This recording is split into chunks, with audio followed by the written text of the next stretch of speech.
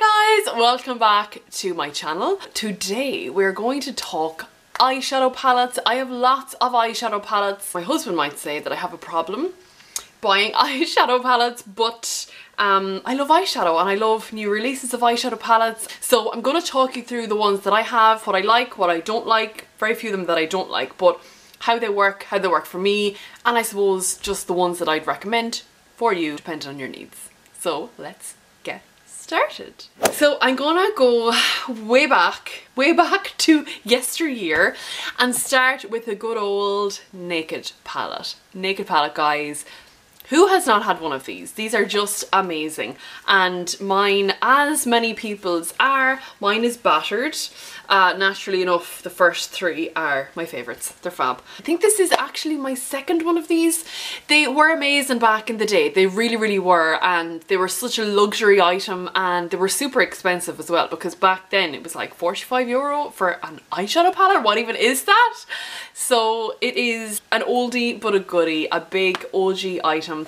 They're fantastic. They were fantastic. The quality I find, like I do dip into them every now and again and we've just come so far with eyeshadows lately that the quality is not up to par in comparison to some of the other ones that are out lately but um I couldn't not mention it and it's still in my collection and I will not throw out my Naked palette ever. Um, it came with a, if, I, if I'm correct, it came with a an eyeshadow primer and a brush as well so it was like the proper little kit back in the day it was so handy so that is the Urban Decay Naked 1 palette when I graduated from the Naked palette, I graduated on to the Blank Canvas Master Series 1 palette. I still think that this is absolutely fabulous. Again, comparing it to what's out now, the shadows, the longevity of the shadows are probably not up to par with what is out at the moment but it still is just such a fabulous palette. It has all of the gorgeous neutral colors that you need and there's no shimmer. Oh there's one shimmer in it goddess is the only shimmer in it. Um it's quite nice. It's just very very low key I don't even know if you can see that. I'm so white today. So again the masterclass series one palette came with a lovely blank canvas brush which was really nice and I've dipped into this so so many times. It is fabulous for your everyday neutral coloured eye and definitely a good one to have in your collection. Speaking of a good one to have in your collection, and this is kind of mirrors a similar colour scheme of those ones there, my Too Faced Natural Matte Palette. So I did get this in um, Ulta actually when I was in, where was I? San Francisco on our honeymoon and this is absolutely gorgeous. Again, a very similar kind of colour story in these as it is to the blank canvas one but again this is a lovely big mirror and it also has these bigger shadows which I absolutely loved. In the Naked palette you had these three here and they were just so handy for putting them on really quick in the morning going into work. When I saw this, I thought, oh look, these are massive. They have the right idea. Too Faced have the right idea for this. So we they have their three kind of like nude colours nude matte colours in again not sure if you can see it in um, bigger pans which I absolutely loved and then all of these gorgeous warm toned browns um, a fabulous fabulous palette I love the size of this palette it is literally the size of my hand. Pop it into your makeup bag, bring it wherever you want. It's lovely. The only downfall for me with this palette is the smell. I don't know, it's it's like, I think it's meant to kind of smell chocolatey. Um, yeah, I just don't like the smell of it. Whatever it is, it's kind of like just fake and sweet and yeah I just don't really like it but um I love everything else about it so that is the Too Faced Natural Matte palette. The next two are they're, they're again they're kind of like the Urban Decay Naked 1 palette they hold sentimental value in my life because they were the palettes that I used to do my very first YouTube makeup tutorial and they are the Model's Own palettes. I haven't been using these as much as I have lately because I've obviously bought so many other palettes. But they are lovely and the price point I remember at the time they were just so so good. So that is the look as you can see a total trend.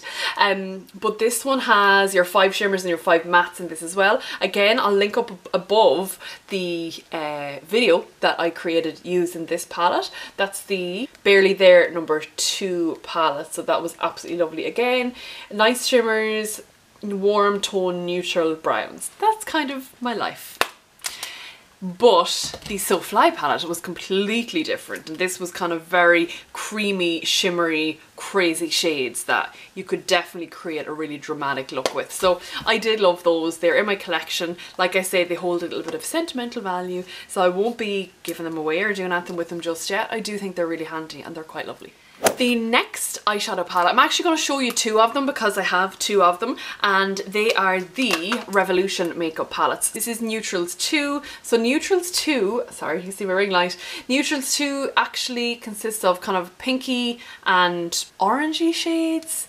Um, it looks crazy. It's not like me to buy these kinds of colours. I don't really know what came over me, but they work. They're absolutely lovely. Um, a lot of these ones as well are really nice for work just on a regular day. These kinds of ones here oops these kinds of ones here and there's a nice couple of shimmers there as well. So really really nice one. The other one which is called iconic fever contains more again warm tone neutral browns. Shocker!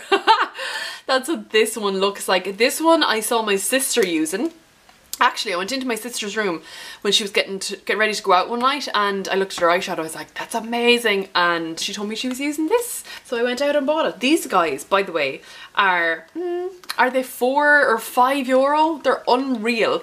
Uh, the pigmentation is outrageous in them and the staying power is fantastic. They're such premium eyeshadows for such an amazing price. Like you just can't go wrong with Revolution eyeshadows and the palettes are just like, it's quite obvious that they don't spend money on the packaging, which I'm totally fine with. I don't need amazing packaging on my palettes.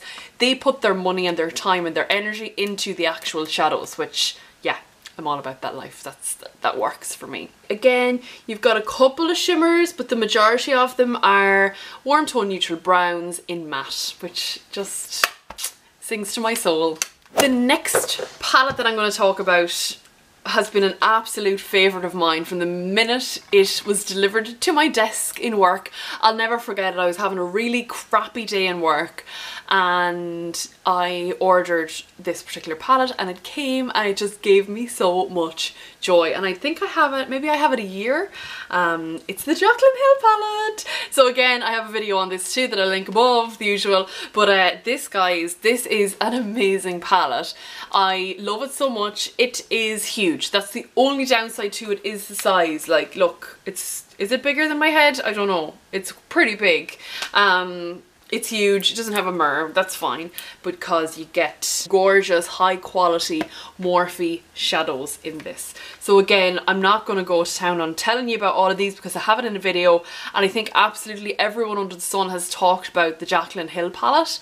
Um, I love it. I, do you know what, I don't take it out enough because it's so massive that's the only reason that if I'm in a rush in the morning I'm more likely to pick up one of these guys than to reach for like a big huge palette which I know it's a bit fickle of me but uh, yeah like I genuinely thought that once I bought the Jaclyn Hill palette I would have no need for any more eyeshadow palettes but I mean like who is I trying to kid the next palette is the one that I've most recently done a makeup look with on YouTube. It is the Michelle Fox palette. Again, I've gone through this in depth so have a look back on my video if you want to see what this looks like. I'll just give you a little sneak peek of the inside of it.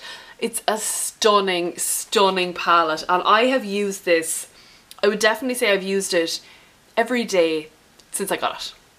Of the, day, of the days I've worn makeup, I used it every day. Um, if I haven't used the eyeshadows, I have used the bronzer, the blush and this gorgeous Milo. Oh my god, like this is just fabulous whether you can see that or not. Oh like that just look at that. Anyway I've gone into so much detail in this. I don't want to over talk about it in this video but it's fab.